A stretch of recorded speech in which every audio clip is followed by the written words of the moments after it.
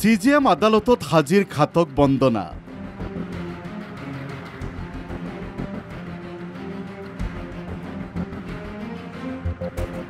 ছয় দিনৰ বাবে পুনৰ আৰক্ষীয়ে ল'লে জিম্মাৰ ইতিমধ্যে ম্যাদ উকলিল চাৰিদিনৰ আৰক্ষীৰ জিম্মাৰ।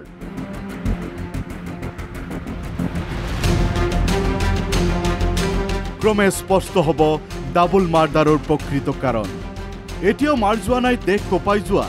গুৱাহাটীৰ ডাবল মাৰ্ডাৰৰ ৰহস্য। ঘাতক বন্দনাক ইতিমধ্যে চাৰিদিনৰ বাবে জিনমাত লৈছিল আৰক্ষীয়ে। ৰখা হৈছিল পাণবজাৰ মহিলা আৰক্ষী থানাত চাৰিদিনৰ ম্যাদ উকলাৰ অন্তত আজি পুনৰ আৰক্ষীয়ে বন্দনাক হাজিৰ কৰালে কামৰূপ মহানগৰ জিলা চি জি এম আদালতত। সাত দিনৰ বাবে পুনৰ আৰক্ষীয়ে জিনমাত বিচাৰিছিল বন্দনাক। আদালতে ছয় দিনৰ বাবে জিনমাত লোৱাৰ দিলে নিৰ্দেশ।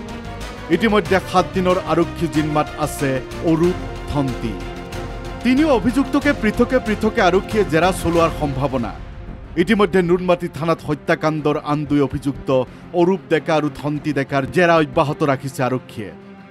আৰক্ষীৰ জেৰাত হত্যাকাণ্ডৰ ন ন তথ্য পোহৰলৈ অহাৰ পূৰ্ণ সম্ভাৱনাই বিৰাজ কৰিছে। সোতৰ ফেব্ৰুৱাৰীত আৰক্ষীৰ জালত পৰিছিল বন্দনা কলিতা। নিৰ্মাল্য দেৰ গোচৰৰ ভিত্তিত জালত পৰিছিল ঘাতক বন্দনা। নৱেম্বৰত গোচৰ দিছিল শংকৰীদেৰ ভতিজাক নিৰ্মল্য দেই। নিহত শংকৰীদে দীৰ্ঘদিন সন্ধানহীন হৈ থকাৰ পিছতেই নৱেম্বৰত এজাহাৰ দিছিল ভতিজাক নিৰ্মাল্য দে। তাৰ পিছতেই আৰক্ষীৰ তদন্তত পোহৰলৈ আহিছিল ভয়ংকৰ হত্যাকাণ্ডটো। ধৃত তিনি অভিযুক্তক লৈ মেঘালয়ৰ চেৰাপুঞ্জী আৰু ডাউকিত আৰক্ষীয়ে চলাইছিল অভিযান। মঙলবাৰে ডাউকিত উদ্ধাৰ হোৱা অমৰজ্যোতি দেৰ মৃতদেহৰ টুকুৰা অভিযানৰ অন্তত বুধবাৰে লৈ অনা হয় জি এম চি এইচলৈ ডাউকিৰ পমলুমত বন্দনাই পেলাইছিল স্বামীৰ মৃতদেহৰ টুকুৰা। মুঠ পাঁচটা স্থানত বন্দনাই পেলাইছিল মৃতদেহৰ টুকুৰাবোৰ। যদি কোনো স্থানত উদ্ধাৰ হৈছে হাৰ কাপোৰ আন কোনো স্থানত উদ্ধাৰ হৈছে অমৰজ্যোতিৰ কামিহাৰ।